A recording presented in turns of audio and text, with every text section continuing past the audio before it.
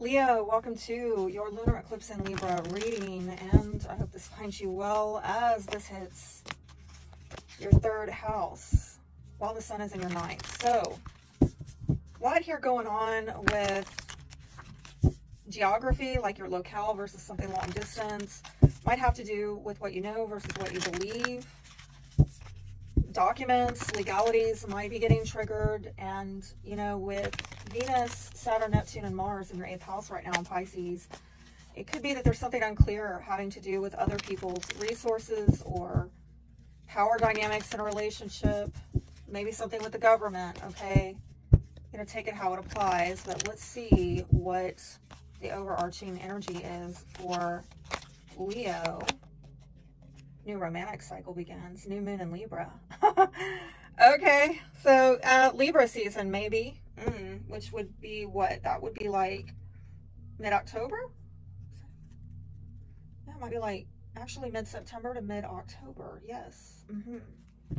If, uh, you know, it could be hitting up at that time, but um, why we're pulling it now, I don't know. Some of you need to remain encouraged because I'm going to tell you Libra is the eclipse that we're having.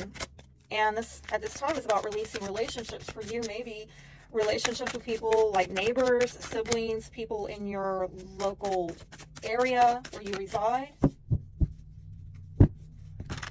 And so, yeah, if you're letting go of, of uh, somebody more on a local level, uh, perhaps by the time uh, we get a new moon in Libra, then something new is going to start out with relationships in that third house area of your life, like meeting somebody new by then. Let's see how you're showing up. So, just showing up. About to wonder, are you even showing up? Oh my gosh. Okay. Wow. It's like, you know, it took a while to come out, but once it came out, boy, did it come out, right? So, Hangman, King of Wands, and King of, uh, Ace of Cups in reverse, and the Towers at the Foundation. That, that's such a mixed bag message. I mean, this is all over the dang board. It's like, are we we not doing anything? Oh, wait, we're doing something. Oh, wait, wait a minute, I'm not opening my emotions up. Oh, wait, you know, uh, there's there's a fallout here. Like this is drama city. Can I be straight with you? And it almost looks like somebody needs to get a new perspective about being emotionally blocked and not opening up emotionally with that or something about new love, not having new love.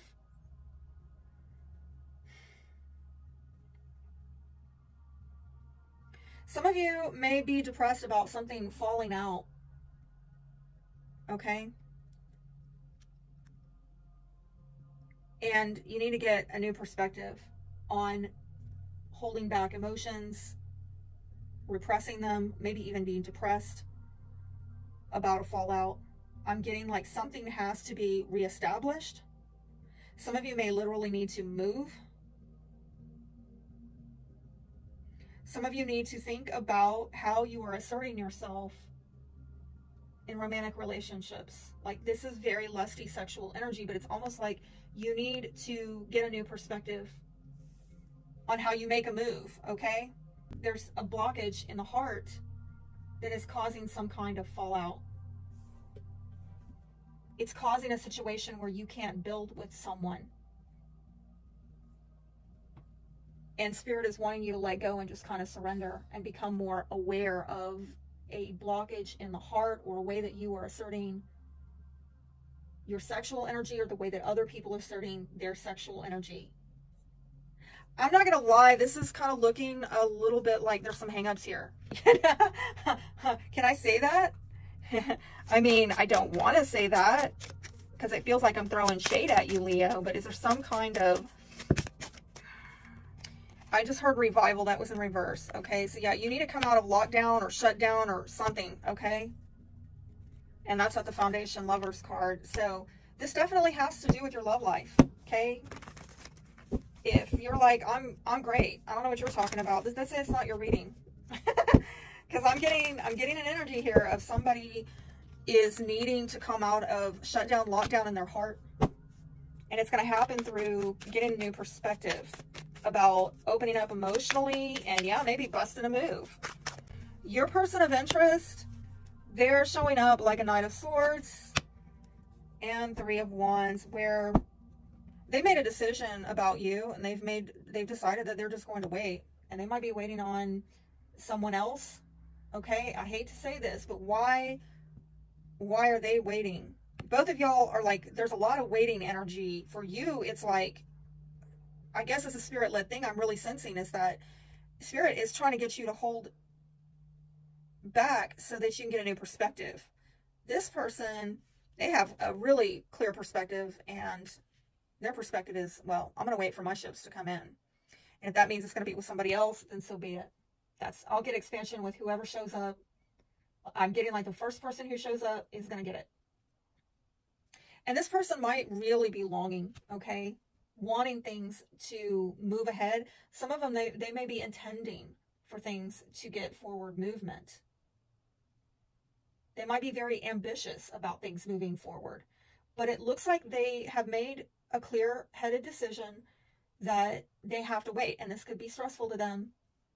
It might be that they have beliefs like, this is what I got to do. So this, so I'm going to do it, you know? They want, they want something to be given to them. This is maybe having to do with an older woman. Or at least a woman that's trying to make a, a mature, you know, clear-headed decision to say, you know, I'm not going to rush in. I'm going to wait. I'm almost getting this knight in shining armor. So you take it how it applies. You know, if you're Leo female and you resonate with this woman, then that's you and that's your person of interest. What's out of balance is something having to do with someone moving on. Six of Swords, okay? And um, somebody's disappointed about it. Like, they don't like what has been offered to them. They're unimpressed. There seems to be, like, between the two of you, somebody is coming across very uninterested, maybe even, yes, emotionally disconnected. And frankly, I saw it over here with this person, okay, that there's some kind of emotional disconnect. And, and it looks like they just want to get on from that energy. They want to leave the troubles behind. But again, I'm getting something here. Maybe there's a move. Somebody needs to make a move. I'm being brought back to bust a move. Uh, somebody needs to move on from something and it's necessary. And until that, that move is made, there's just going to be some kind of, I'm not interested, you know? In order to, you know, bring balance back, something's going to have to positively shift with some defensive energy. Refusing to open up to someone or something. And I'm not judging, judging here. It might be, you know, unwanted attention, unwanted offer, unwanted opportunity, okay? But something's going to have to positively shift in order to come out of this, you know, stalemate. And yeah, this might be a very faded timing issue that maybe involving uh, an Aquarius or a soulmate might also have to do with your ambitions. But somebody is, I'm getting holding their ground as well. Tell me when is this timing issue? Yeah, holding, hold yourself. when is this going to change with that Wheel of Fortune card? Tell me the timing on that. When is that fated to change? In February happening now?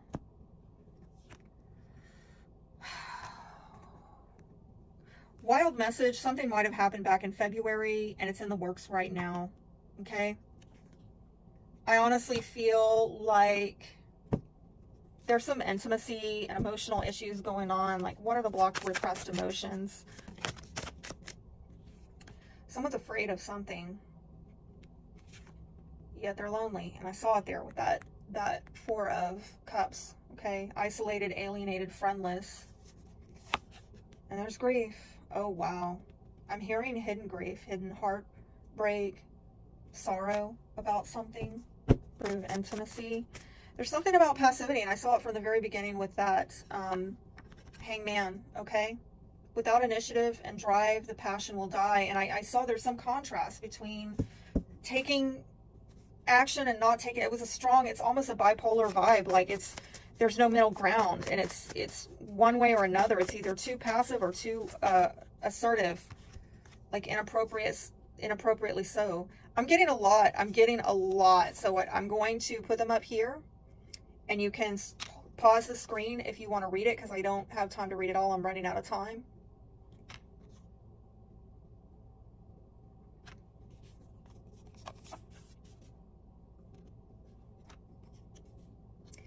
All right, I hope this helps. And until next time, I wish you all the best. Be blessed.